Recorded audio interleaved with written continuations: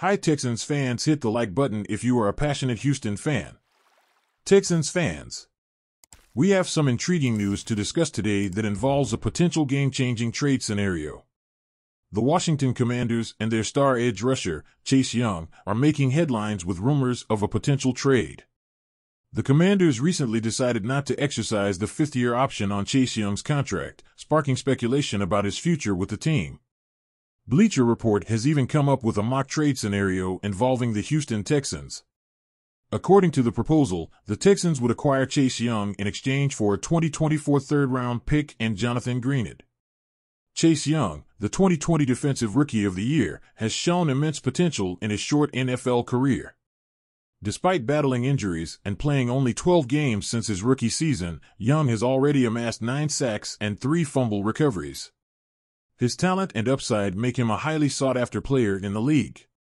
On the other hand, Jonathan Greenard, a young defensive end for the Texans, has played in 33 games but has fewer fumble recoveries and just 1.5 more sacks than Young. Additionally, Greenard missed a significant portion of the 2022 season due to injury. So, is this trade proposal truly fair value for a budding star like Chase Young? It's crucial to consider Young's potential impact and future contributions to the league. At just 23 years old, he still has plenty of room to grow and develop into an elite player. Trading him for a third round pick and Greenard might not adequately reflect his value and the impact he can have on a team's defense. Now, it's time to hear from you, the fans. What are your thoughts on this potential trade scenario involving Chase Young?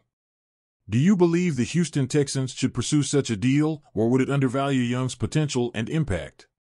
Share your opinions in the comments below. Remember to stay tuned for further developments as the offseason progresses.